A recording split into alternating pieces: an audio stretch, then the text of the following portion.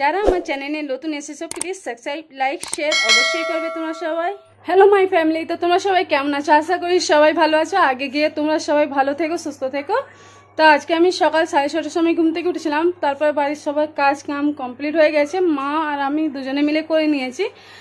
আর এখানটায় আমি দুপুরের জন্য রান্না করছি। আজকে কী কী রান্না হবে সেটা তোমাদেরকে দেখাবো। আর সেটা হয়তো রান্নাটা দেখাবো না, কিন্তু বলে দেবো কি কি রান্না হয়েছে আর বাকি সব কাজ কমপ্লিট হয়েছে। মা পাশের বাড়িতে গেছে চাল শুকোতে, মুড়ির চাল।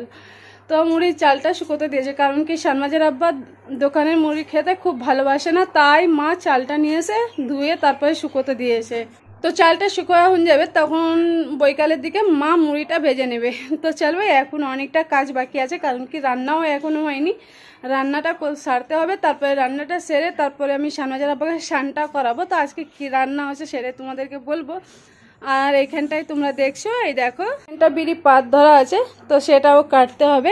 রাতে কিছুটা কেটেছিলাম, আর এখনও কিছু কাটা হয়নি, তো এখনও এইখানটায় তোমরা দেখছ পাঁচটা পোড়া আছে, তো পাঁচটা পোড়া কাটবো। এখন রান্না করতে করতে কাটতে হবে, আর এইখানটায় একটুকু আছে।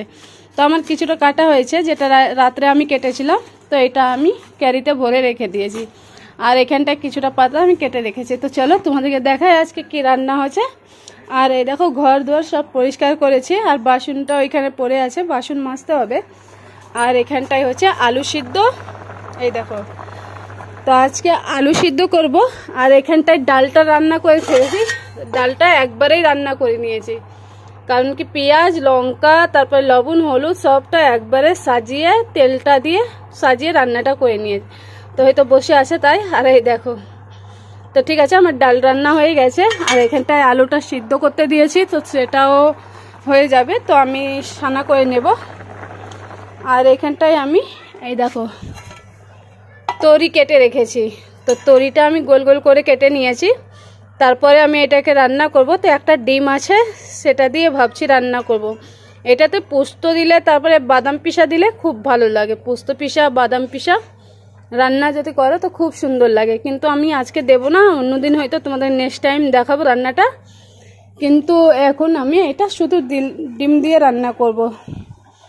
তো চলো আলুটা সিদ্ধ হয়ে গেলে আমি তরিটা বসিয়ে দেব, আর এখানটায় কিছুটা পাতা আছে, সেটা আমি কাটতে বসি। কাটা হয়ে গেলে তখন তোমাদেরকে রান্নাটা দেখাবো। এখানটায় আলুটা সিদ্ধ হয়ে গেছে, তো আমি একটা থালাতে তাকে তুলে নিলাম। তো চলো, এইখানটায় আমি আলুটা, এখন দাগিটা করা হয়নি, তাই আমি এখন পরে সানা করব। আর এইখানটায় এই দেখো, তরিটা আমি বসে দিয়েছি, হলুদ আর লবণ দিয়ে। তো এটা সিদ্ধ হয়ে গেলে তখন আমি মশলাতে ফেলব, তখন তোমাদেরকে হয়তো কিছু কিছুটা আজকে দেখাবো, কিছু কিছু করে। যেটা তোমরা হয়তো সম্পূর্ণ বুঝতে পারবে কি আমি কি করে রান্নাটা করছি। তো চলো, এটা আমি এখন ঢাকা দিয়ে দিই, তারপরে তোমাদেরকে রান্নাটা দেখাবো। এখন প্রায় আমি হলুদ আর লবণটা দিয়ে শুধু সিদ্ধ করে নেব। তো চলো। তোমার তরিটা সিদ্ধ হয়ে গেছে। আর এখানটায়, এই দেখো, আলুটা আমি সেনে রেখেছি, আর এখানটায় দাগিটাও হয়ে গেছে। বেশ ভালো গোল্ডেন কালার হয়ে গেছে।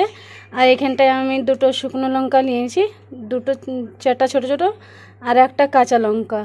তো চলো, এখন আমি এটা রেখে দিই সাইডে, পরে সানা করব। আর এখানটায় তরিটা আগে রান্না করিনি আর এখানটায় আমি, এই দেখো ওভেনটা অন করে দিয়েছি। আর একটা বারিক করে পেঁয়াজটা কেটে নিয়েছি। আর এখানটায় আদা লসুন এগুলো আছে।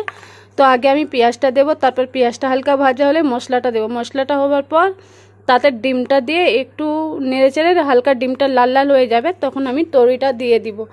আর এখানটায় আমার সব কিছু কমপ্লিট হয়ে চলে এসেছে। আর এখানটায় আমি ভাতটাও বসে দিয়েছি। তো এই দেখো, ভাতটাও বসিয়ে দিয়েছি। তো এখানটা সানমাজের জন্য হয়ে গেলে দুধটা বসাবো।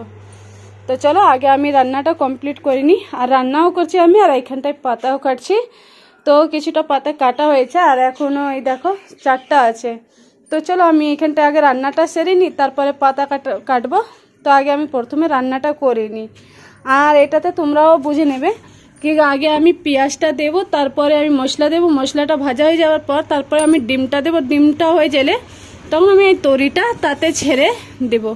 এটাতে বেশি জলটা দেবে না, কাজ বলো, দুটো ছিল দুটো গাছ, গাছেই ধরেছিল আমাদের। এইখানটায় তোমাদেরকে দেখেছিলাম, যুগনটায় আমাদের চালা ভাঙা আছে, সেখানটায় দুটো ধরেছিল। তো তাই ভাবলাম কি চলো রান্নাটা করে নিই, না তো গাছে থেকে থেকে বড় হয়ে যাবে, তখন খাওয়া হবে না। তাই আমি এটা রান্না করে নিই না তো চলো আগে আমি রান্নাটা কমপ্লিট করে ফেলি। তো আমার রান্না কমপ্লিট হয়ে গেছে, আর স্নান করাও কমপ্লিট হয়ে গেছে, আর এখানটায় সবাইকে খেতে দিয়ে দিয়েছি। চলো তোমাদেরকে দেখাই।